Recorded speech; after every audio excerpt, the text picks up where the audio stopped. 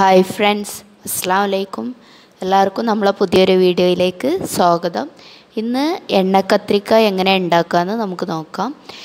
ഇത് നമുക്ക് ബിരിയാണീന്റെ കൂടെ അതേപോലെ ചപ്പാത്തിന്റെ കൂടെ ചോറിന്റെ കൂടെ എല്ലാം കഴിക്കാൻ നല്ല ടേസ്റ്റുള്ള ഒരു ഐറ്റമാണ് അപ്പോൾ ഇത് നമുക്ക് ഉണ്ടാക്കുന്നതിന് ആദ്യം നമുക്കിതിന്റെ മസാല തയ്യാറാക്കാം. അതിനുവേണ്ടി ഞാനൊരു പാന് വെച്ചിട്ടുണ്ട്. അതിലേക്ക് കുറച്ച് എണ്ണ ഒഴിച്ചിട്ട് ഒരു ഒരു ഉള്ളി കുറച്ച് വലുതാക്കി മുറിച്ചതാണിത്. എന്നിട്ട് അത് അതിലിട്ട് നന്നായിട്ട് വണക്കി കൊടുക്കണം ഫസ്റ്റ് നമുക്കിതിലേക്ക് ഇഞ്ചും വെളുത്തുള്ളിയും ചതച്ചത് ചേർത്ത് കൊടുക്കുക അല്ലെങ്കിൽ നിങ്ങൾ ഇഞ്ചി വെളുത്തുള്ളി പേസ്റ്റ് ഉണ്ടെങ്കിൽ അത് ചേർത്ത് കൊടുക്കുക ഏതായാലും കുഴപ്പമില്ല.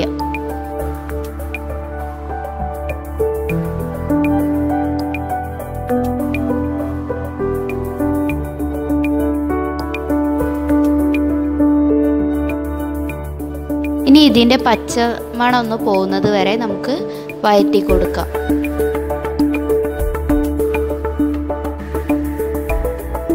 ഇനി നമുക്ക് ഇതിലേക്ക് മസാലകൾ ആഡ് ചെയ്യാം. ഒരു അര സ്പൂണ് മഞ്ഞൾപ്പൊടിയാണ് ഞാൻ ഇട്ടുകണത് അതിന്റെ ശേഷം നമുക്ക് ഒരു ഒരു സ്പൂൺ അളവിന് മല്ലിപ്പൊടി ഇട്ട് കൊടുക്കാം. പിന്നെ അതേപോലെ ഒരു ഒരു സ്പൂൺ അളവിന് മുളകും പൊടി ഇട്ട് കൊടുക്കാം.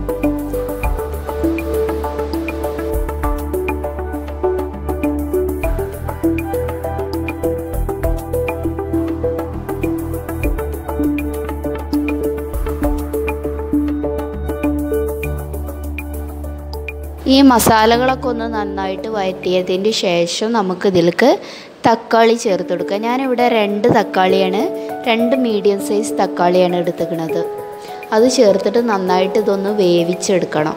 ഒന്ന് വേവണം കേട്ടോ. തക്കാളി ഉള്ളിയൊക്കെ ഒന്ന് നന്നായി മിക്സ് ചെയ്തിട്ട് ഒന്ന് വേവട്ടെ.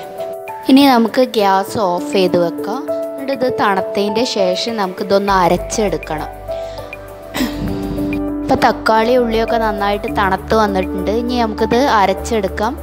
അപ്പോൾ ഞാനിതൊരു മിക്സിന്റെ ജാറിലേക്ക് മാറ്റിയിരിക്കണ് ഇതിലേക്ക് നമുക്കൊരു മൂന്ന് സ്പൂൺ അളവിന് തേങ്ങ ഇട്ട് കൊടുക്കണം.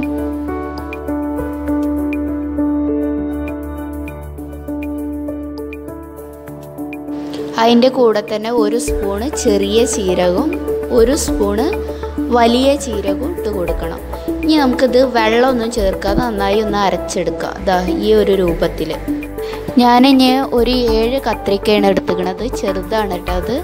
അപ്പോൾ ഇനി നമുക്കിതിന്റെ തണ്ട് ആവശ്യമില്ല. അത് ഒഴിവാക്കിയതിന്റെ ശേഷം നമുക്ക് ഇതിനെ ഇങ്ങനെ ഒരു പ്ലസ് പോലെ ക്രോസ് ആയിട്ട് വെട്ടി കൊടുക്കില്ല പ്ലസ് പോലെ വെട്ടി കൊടുക്കുക രണ്ട് സൈഡൊക്കെ അങ്ങോട്ട് ഇങ്ങോട്ട് തിരിച്ചിട്ട് വെട്ടി കൊടുക്കട്ടോ ഇനിയിപ്പോൾ നിങ്ങൾ വലിയ കത്രിക്കയാണ് എടുക്കണമെങ്കിൽ അതിനൊരു നാലാക്കി മുറിച്ച് കൊടുക്കണം കേട്ടോ ഞാനിപ്പോൾ ചെറുതായതുകൊണ്ട് രണ്ടാക്കിയിട്ടേ മുറിക്കണുള്ളൂ. ഇനി നമുക്ക് ഈ കത്രിക്കനെ ഒന്ന് വറുത്തെടുക്കാം. അതിന് വേണ്ടിയിട്ട് ഞാനൊരു പാനിൽ കുറച്ച് എണ്ണ ചൂടാക്കാൻ വെച്ചിട്ടുണ്ട്. ഇത് എണ്ണ കത്രിക്ക ആയതുകൊണ്ട് തന്നെ കുറച്ച് അധികം എണ്ണ ആവശ്യം വരും. അപ്പോൾ നമുക്ക് ഇങ്ങനെ ഇട്ട് കൊടുത്തിട്ട് ഇതിനെ വറുത്തെടുക്കാം കേട്ടോ. പിന്നെ നമ്മൾ ഈ യൂസ് ചെയ്യണ കത്രിക്കയിൽ വെള്ളം എന്തെങ്കിലും നമ്മൾ കഴുകിയിട്ട് വെള്ളം എന്തെങ്കിലും ഉണ്ടെങ്കിൽ നന്നായിട്ട് തുടച്ചിട്ട് വേണം എണ്ണയിൽ ഇടാൻ അല്ലെങ്കിൽ എണ്ണ തെറിക്കും മേത്ത്. ഇപ്പോൾ ഏകദേശം ഈ ഒരു പരിവായാൽ നമുക്ക് ഇതിന് നമുക്ക് ഈ എണ്ണ എണ്ണയിൽ അതിനെ. നന്നായിട്ട് വെന്തിട്ടുണ്ട് കുറച്ച് ഉലുവ നമുക്ക് ഇത് ചെറിയ സ്പൂൺ അളവിനാട്ടെ ഞാൻ എടുത്തുകണത് അപ്പോൾ എല്ലാം കുറച്ചിട്ട് അതിന്റെ ശേഷം കറിവേപ്പിന്റെ ഇല ഉണ്ടെങ്കിൽ അതും കുറച്ച് കറിവേപ്പിന്റെ ഇല ഇട്ട് കൊടുക്കുക പിന്നെ വറ്റൽമുളക് ഒരു രണ്ടെണ്ണം മുറിച്ചിട്ട് കൊടുക്കുക. പിന്നെ ചെറിയ ഉള്ളി. അതൊരു പത്ത് പന്ത്രണ്ടെണ്ണം ഞാൻ എടുത്തുകണ് ആ ഒരളവിന് എടുക്കുക. എന്നിട്ട് നന്നായിട്ടൊന്ന് വയറ്റി കൊടുക്കട്ടോ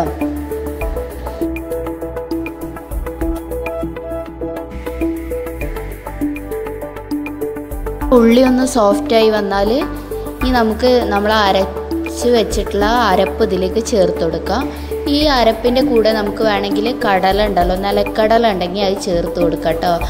അത് നമ്മളൊന്ന് വറക്കണം? ഈ മസാലന്റെ കൂടെ ഒന്ന് വറുത്തിട്ട് നമ്മൾ അരക്കുമ്പോൾ അതിന്റെ കൂടെ ചേർത്ത് കൊടുക്കുക അപ്പോൾ അതൊന്നും ഇല്ലാത്തതുകൊണ്ട് അതൊന്നും യൂസ് ചെയ്യണില്ല ഞാൻ എന്നിട്ട് നന്നായിട്ട് ഇതൊന്ന് അടച്ച് വെച്ചിട്ട് നമുക്ക് ഒന്ന് മിക്സ് ചെയ്തതിന് ശേഷം അടച്ച് വെച്ചിട്ട് എണ്ണ തെളിഞ്ഞ് വരണത് വരെ നമുക്കൊന്ന് വേവിച്ചെടുക്കാം കേട്ടോ. അപ്പം നമ്മളെ എണ്ണ ഇങ്ങനെ തെളിഞ്ഞ് വരാൻ തുടങ്ങിയിട്ടുണ്ട്. അത് ഈ സൈഡിലൊക്കെ ഇങ്ങനെ വന്ന് തുടങ്ങി. നമുക്ക് ഇനി ഇതിലേക്ക് പുളിവെള്ളം ചേർത്ത് കൊടുക്കട്ടെ. ഞാനൊരു ചെറിയ നെല്ലിക്ക വലുപ്പത്തിലുള്ള പുളിയാണ് എടുത്തുക്കണത് അതിന് അതിന്റെ വെള്ളം നമുക്ക് ഇനി ഇതിൽ ചേർത്ത് കൊടുക്കാം.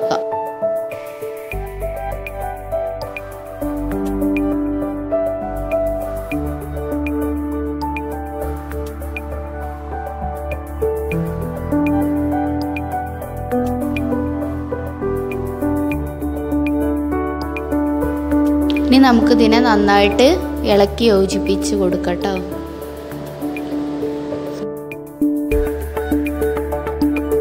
ഇതിൽക്ക് നമ്മൾ ആവശ്യാനുസരണം വെള്ളം ചേർക്കുക.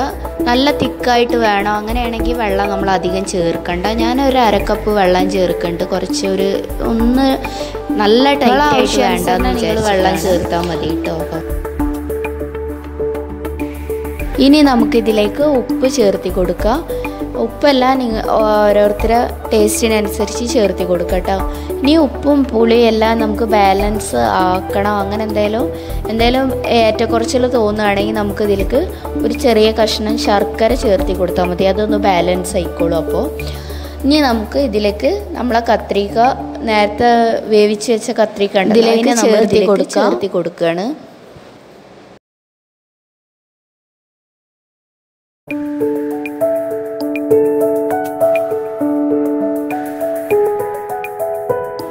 ഏറ്റവും അവസാനമായിട്ട് ഞാൻ അതിൽ കുറച്ച് കാശ്മീരി ചില്ലി പൗഡർ ഇടുന്നുണ്ട് ഒരു കളറിന് വേണ്ടിയിട്ടാണ്. അത് നിങ്ങൾക്ക് വേണമെങ്കിൽ ഇട്ടാൽ മതി അത് ഇല്ലാച്ചിട്ട് കുഴപ്പമൊന്നുമില്ല. ഞാനൊരു കളറിന് വേണ്ടിയിട്ട് ഇട്ടതെന്ന് മാത്രമേ ഉള്ളൂ. ഇനി നമുക്കിത് നന്നായിട്ട് തിളപ്പിച്ച് എടുക്കുക എന്നിട്ട് നമുക്ക് ഫ്ലെയിം ഓഫ് ചെയ്യാം കേട്ടോ. നമ്മളെ എണ്ണ കത്തിക്ക നന്നായിട്ട് തിളച്ച് വരുമ്പോൾ നമുക്ക് മല്ലിയില ഉണ്ടെങ്കിൽ അത് ചേർത്തി കൊടുക്കുക ഇനി നമുക്ക് ഇത് തിളച്ചതിന് ശേഷം ഫ്ലെയിം ഓഫ് ചെയ്യാം. അപ്പോൾ ഈ എണ്ണ കത്രിക റെഡി ആയിട്ടുണ്ട്. ഇനി നമുക്ക് ഇതിനെ ഒരു സർവിങ് ബോളിലേക്ക് മാറ്റാം. അപ്പോൾ എല്ലാവരും ഇതൊന്ന് ട്രൈ ചെയ്ത് നോക്കുക. എന്നിട്ട് നിങ്ങളെ അഭിപ്രായം എല്ലാം അറിയിക്കണം. വീഡിയോ ഇഷ്ടമായാൽ ലൈക്ക് ചെയ്യുക ഷെയർ ചെയ്യുക. സബ്സ്ക്രൈബ് ചെയ്യാത്തവരുണ്ടെങ്കിൽ സബ്സ്ക്രൈബ് ഒന്ന് ചെയ്യണേ. പിന്നെ അതിന്റെ അടുത്തുള്ള ബെല്ലൈക്കണും കൂടി അമർത്തണം. പിന്നെ ഇനി നാളെ കഴിഞ്ഞ് മറ്റന്നാൾ ഇൻഷാല്ല രണ്ട് മണിക്ക് കാണാം. അതുവരെക്കും ബായ്